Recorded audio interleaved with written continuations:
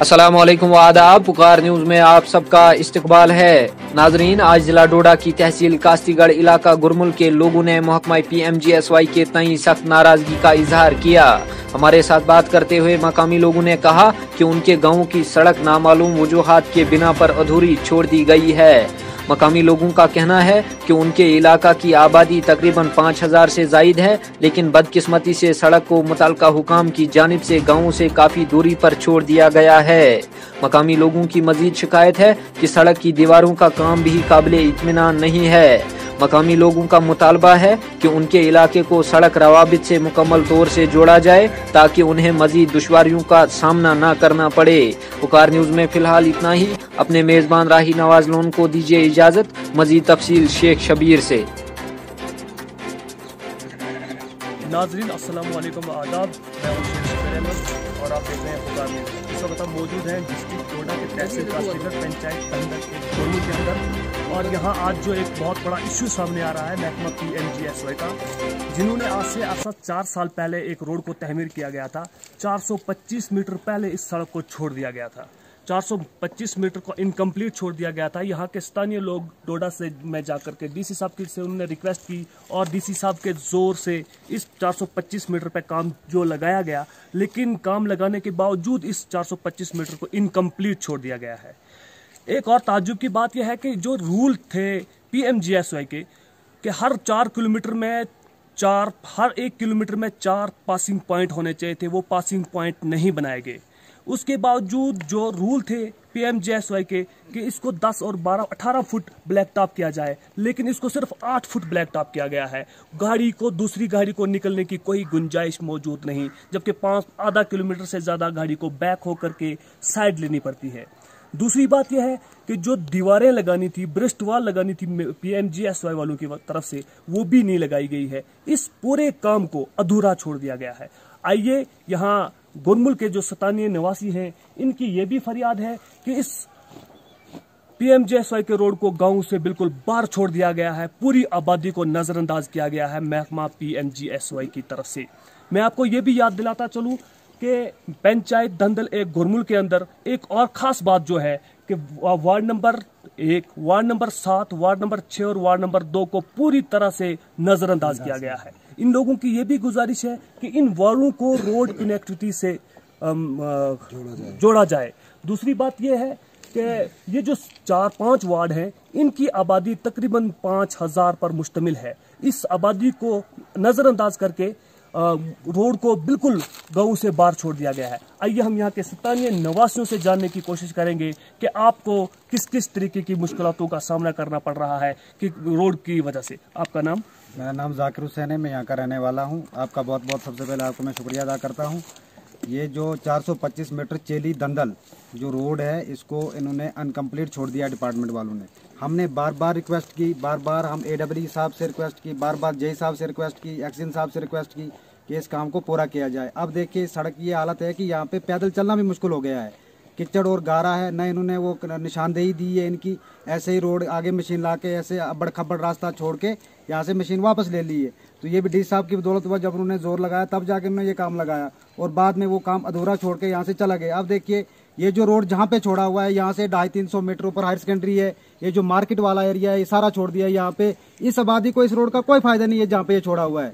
इसलिए हम डिपार्टमेंट से गुजारिश करते हैं कि मेहरबानी करके इस रोड को कहीं लास्ट एंड तक पहुँचाया जाए, जहाँ से लोगों को फ़ायदा हो। अब देखिए, ये जो आबादी है, बिल्कुल यहाँ से कट कर रह गई है। ये एक नीचे खड्डे में डाल दी है रोड। इसको कम से कम ऊपर दो ढाई सौ मीटर ऊपर ला के ऊपर हमारी हायर सेकेंडरी, हमारा जो मार्केट एरिया है, जहाँ पे लोग आते जाते रहते हैं जो रास्ता है हमारा मेन उसको टच करने टच करें।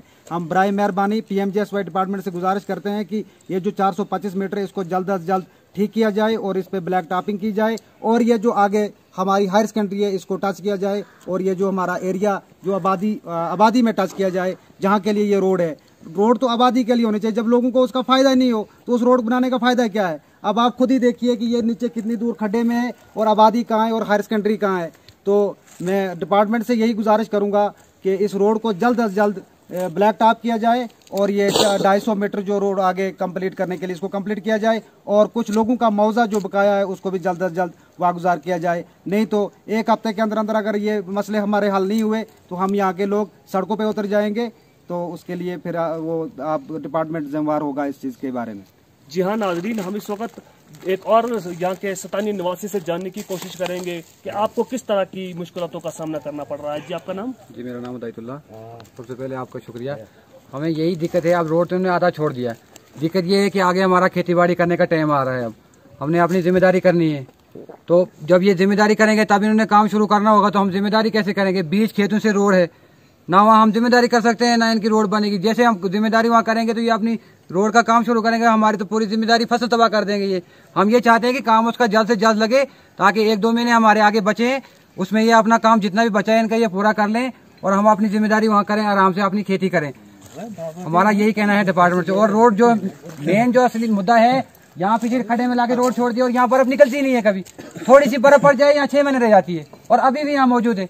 हम ये चाहते हैं कि रोड ऊपर आए प्रॉपर जहाँ बर्फ़ निकल जाती है, कम से कम देखें, लोग भी तो देखें रोड गाड़ी क्या होती है। वो नाले में ला के नीचे डाल दी, लोगों को पता ही नहीं रोड कहाँ है, क्या है ये इधर। कौन देखा गया इसको नीचे खड़े में?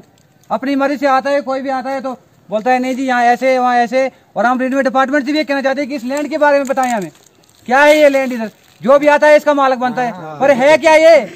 हमें पता लगना चाहिए ये जगह है क्या। कोई आता है बोलता है मेरी बीस कनाल है। कोई आता है मेरी दस है। और यहाँ तो मुझे पाँच भी नहीं है सारी। डिपार्टमेंट के जो भी आता है बोलता है मेरे पास इतने इतने कागज़ हैं जी वो कहाँ से बनते हैं कागज़? तो यहाँ जगह कहाँ है वो इतनी? वो कौन देता है इनको ये कागज़? और ये सब जो जो भी आता है यहाँ कोई कहता है मेरी है कोई कहता है मेरी और रोड ही नहीं बन पाती है आगे हम ये चाहते हैं कि डिपार्टमेंट रेलवे डिपार्टमेंट इसके बारे में बताए हमें कि ये जगह है क्या। खालसा है मलकीत है क्या है हमें इसके बारे में बताया कोई डिपार्टमेंट जी हाँ नाजरीन इन लोगों की फरियाद ये भी है कि महकमा पीएमजे वाई वालों की तरफ़ से जब ये वहाँ पे सर्वे किया गया था तो इस बस स्टैंड के लिए 60 बाई 40 की जगह नाप ली गई सौ बाई साठ सौ बाई साठ। की जगह नाप ली गई थी। लेकिन यहाँ पर इस बस स्टैंड पे ब्लास्टिंग तो कर दी गई है। उसका मुआवजा भी लोगों को मिल चुका है। इसका मुआवजा भी लोगों को मिल चुका है। जो है। लेकिन न जाने किस बुनियाद पर इस बस स्टैंड को अधूरा छोड़ के इसको नजरअंदाज किया गया है। आइए हम यहाँ पे एक और साथी से जानने की कोशिश करेंगे। कि आपको किन किन दिक्कतों का सामना करना पड़ रहा है? जी सर, मेरा नाम कल्याण सिंह है। आपका बहुत बहुत शुक्रिया अदा करते हैं कि आप हमारी खिदमत में यहाँ तक आप लोग आए, आपने कष्ट किया। लेकिन हमारी यही फरियाद है 2007 से लेकर 2021 तक। 2007 में जब ये सरवा हुआ तो इस सड़क को ज़ीरो बीस तक उन्होंने चेलीमोड टू बीस तक पहुँचाया। उससे आगे जो बैलेंस इन्होंने 425 मीटर रख दिया, उसका पैसा भी खा लिया इन्होंने। उड़ा लिया पैसा, उसके बाद हम लोगों को टरकाल लिया कि हाँ जी, हमारे पास इसका कोई भी पैसा नहीं है। अगर पैसा नहीं था, वो कहाँ गया? वो किसने खाया? ये कैसा डिपार्टमेंट है? जब इनको अपना और किसी ठेकेदार का पता नहीं है। ये कैसे क्या हो सकता है? ये हम लोगों पर इतना जुल्म क्यों है? उसके बाद जब आगे इन्होंने काम लगाया लोगों की जमीनों को उजाड़ा न उनको आगे के लिए रखा न पीछे के लिए। और जो सड़क इन्होंने बीच में रख दी है वहाँ पर ये हमें पता नहीं लगता है कि ये जानवरों के लिए बनाई या किसी इंसान के लिए बनाई या किसी मेले के लिए बनाई है या किसी रिहाइश के लिए बनाई। है अगर रिहाइश के लिए बनाई गई है तो इसको ऊपर चढ़ाओ जहाँ पे हाई सेकेंडरी है जहाँ पे आबादी बस रही है। ये कौन सी खेल है हम लोगों के साथ? हमें तो इस हमें इस हमें इस चीज़ का तो कोई पता ही नहीं लगता है। कि ये मसला क्या है? जब जो जब कोई भी डिपार्टमेंट आता है तो यहाँ पर एक दो दिन में वो आएँगे टरकाल लेंगे हम लोगों को। हमें तो इस चीज़ से कोई फ़ायदा ही नहीं है। ना हमें इस चीज़ से कोई बेनिफिट मिलता है। आप सड़क देखें। दे रहे थे वही यहाँ से दे रहे हैं। सड़क सड़क देखें। तो वो जंगल में पड़ी हुई है। जी हाँ नाजरीन, यहाँ के लोगों की ये भी फरियाद है कि महकमा पीएमजे वालों वाई वालों की तरफ़ से जहाँ पर जो ये रोड बनाया गया है, ये लोग डिस्ट्रिक्ट एडमिनिस्ट्रेशन डोड और गवर्नर इंतजामिया से गुजारिश कर रहे हैं कि हमारे इस खास मसले की तरफ़ तवज्जो दी जाए। इसी तरह से आप देखते रहें पुकार न्यूज़ और शेख शबीर अहमद को दीजिए इजाज़त। खुदा हाफिज। अल्लाह नगबार